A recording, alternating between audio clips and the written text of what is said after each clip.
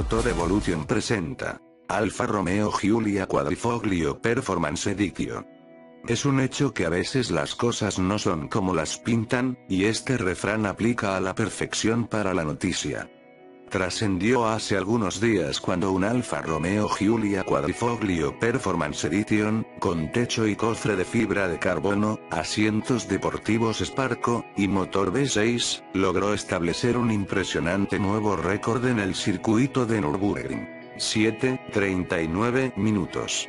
Y eso es algo digno de reconocer si consideramos que fue solo décimas más lento que el Chevrolet Camaro Z28, pero más rápido que el Seat León Cupra R280 y que el Megane RS275 Tropi R, quienes lograron tiempos de 7, 37, 4 segundos, 7, 58, 4 segundos y 7, 54 minutos, 36 segundos respectivamente. Doble logro si consideramos que estos autos son deportivos de altas prestaciones.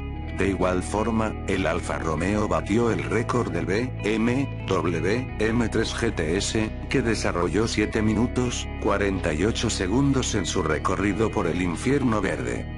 Lo curioso del caso es que muchos esperaban que el Alfa Romeo iba a realizar un tiempo aproximado de 7 minutos y 43 segundos.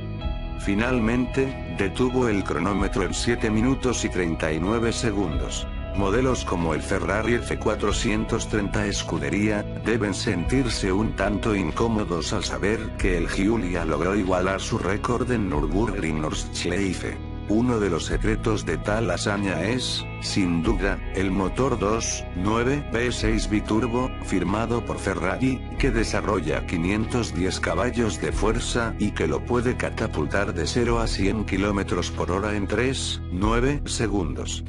Tampoco debemos olvidar el peso ligero del Giulia. 1,540 kilos, gracias a los mencionados elementos de fibra de carbono. Con información de Motor Pasión te dejamos los links. Hasta pronto.